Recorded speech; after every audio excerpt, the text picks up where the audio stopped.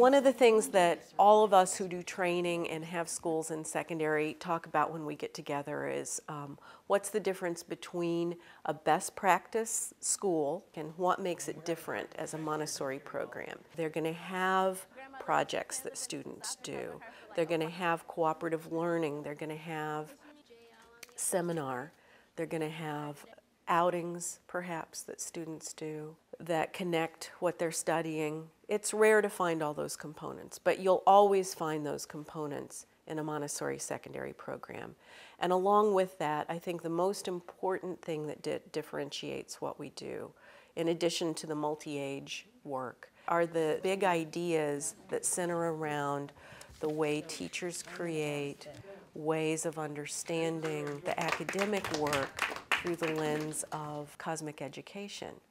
What's happening around the world and what's happening with different cultures is huge in Montessori children, and I see that growing up in Montessori versus being in a traditional school. I think Montessori kids really have that desire to want to make the world a better place. A lot of people think that cosmic education is just for elementary students.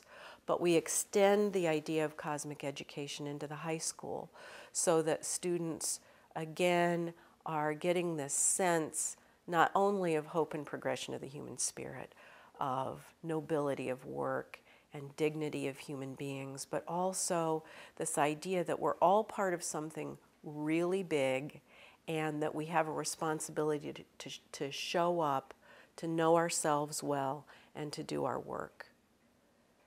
Like I came here and I found out that it was part of the curriculum to argue. so yeah, I, I love it here. I love it. It was perfect for me. It was like a blessing.